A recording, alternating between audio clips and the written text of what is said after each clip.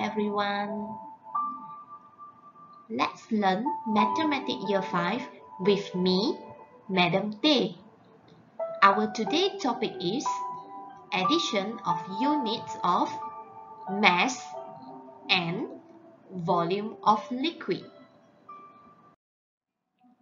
Let's look at the relationship of the units of mass 1 kg is equal to 1000 gram and the units for volume of liquid 1 liters is equal to 1000 milliliter. Or another method we can use one three box in our calculation especially for addition and subtraction. Okay? So on the left side kg or liter.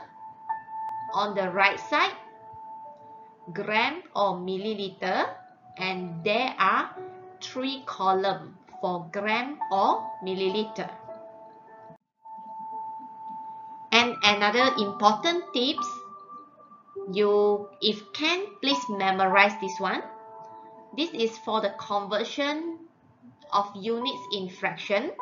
Okay, 1 over 2 kg or 1 over 2 liter, when we convert to gram or ml, it will become 500 gram or 500 ml. And 1 over 4 kg or liter, it will convert to 250 gram or ml. So these are the important fractions. If you didn't memorize this, so you have to calculate. Kalau anda tak ingat jadual ini, anda kena guna cara pengiraan. Okay, for example, if you want to convert 1 over 2 kg, convert to gram, so I have to times 1000. Okay, kalau kamu tak ingat, kamu kena kira. Ambil 1 over 2 times 1000. Lepas tu, anda akan dapat 500 juga. Look at example 1. The mass in gram for pineapple and papaya. So this is the keywords. Add means that plus. And another keyword is in gram. So your final answer must write in gram. So add means add, addition, right? So I write the number sentence like this. 1.608 kg plus 1.4 kg. Then I will use 1 3 box. So I fill in the numbers 1 point. Okay, I write point first and then 1.608 and then another one 1.4 I write point first on the left side 1 and then on the right side is 4 and these two empty column I will put two zeros. Okay. Untuk dua tempat yang tak ada nombor ini, saya akan letakkan sifar-sifar. And then, plus. After plus, you calculate by yourself. As After you plus, you refer to the final answer. What is the unit requested? Apakah kehendak unit yang diminta oleh soalan? Gram. Okay. Gram is without point. Jawapan tanpa titik perpuluhan. So means that anda akan ambil keseluruhan jawapan ini dan letakkan gram di hujung sahaja. Okay, example 2. Calculate the total mass in gram for all three packets of the waffle in the pictures. So the keyword is total again plus and then the unit is in gram for all the three packet untuk tiga paket. So means that we have to add up the three mass. Okay, kita kena tambahkan tiga jisim di atas ini. So kita tuliskan number sentence dulu. 1 over 8 kg plus 217.5 gram plus 0.25 kg. So, I will use this one. 1-3 box. Saya nak guna 1-3 box. Okay. So now, when I want to fill in the numbers, look at the number sentence first. Tengok pada uh, ayat matematik ini. Okay, 1 over 8, we can convert to gram, right? 1 over 8, if you refer to the table, it is 1 to 5, right? Okay, and then this one also in kg. Okay, so sekarang saya nak tambahkan dua ini dulu. Kenapa saya tak nak tambah 217.5 gram? Okay, tengok ya, 1-3 box. Bila saya tulis 217.5 gram, ini berada di gram. So, kalau gram 217 point berada di mana? Di belakang sini kan? So, sekarang saya nak tambah ini kemudian. So, I want to add this one later. Okay? So, now I want to add 1 over 8 kg and 0.25 kg. Okay?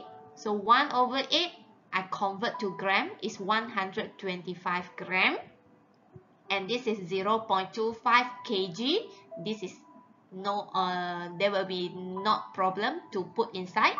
Okay? Ni tak ada masalah nak letak di dalam sini. Okay sekarang 125 gram. So kita isi di bahagian gram. 125 like this.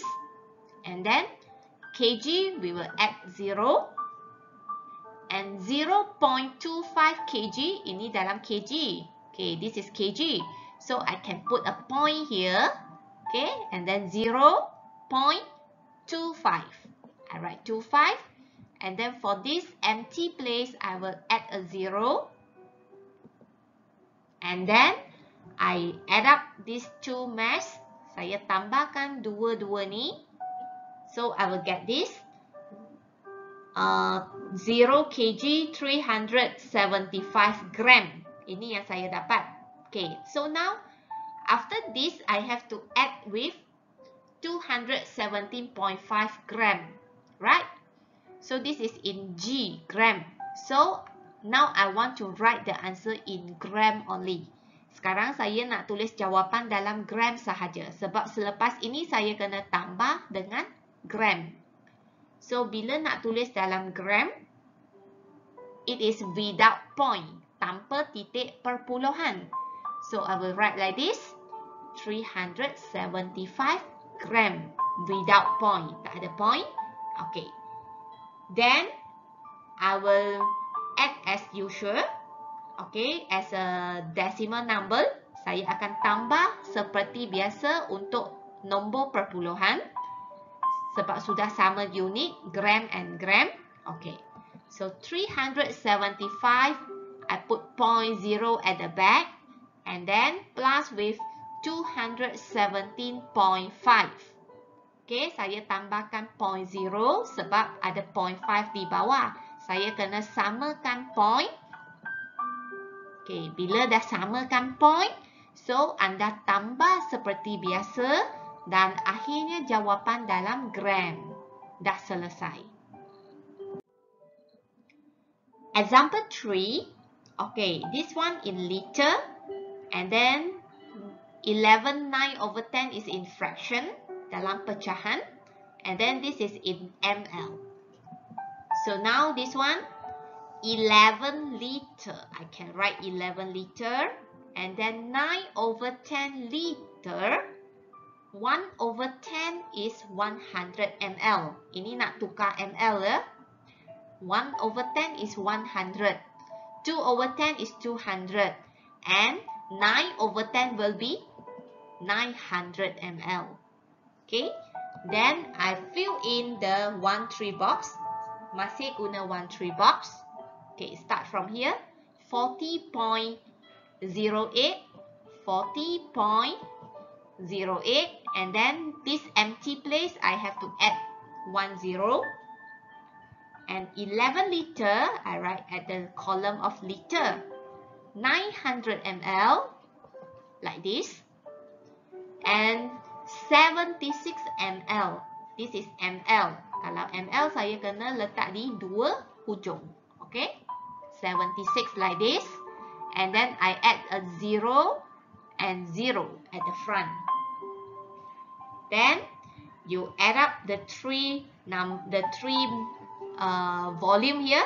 Tambahkan ketiga-tiga isi padu di sini. And at last, you refer to the unit for the final answer. Rujuk unit bagi jawapan akhir. ML. Okay, ML tanpa point. The answer is without point. Tanpa point. So, I will write the whole answer without point.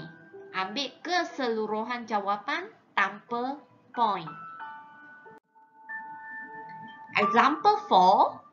Okay, calculate the total volume of black and yellow paint in liter. So, total plus, okay, black and yellow. And then the answer, the unit for the answer is in liter. So now, which is yellow? This is yellow and this is black. So we just add up these two volume. Kita tambahkan dua isi padu yang ini. 5 and 1 over 2 ada fraction. Okay, this is a fraction. So 5 and 1 over 2. This 5 is 5 liter.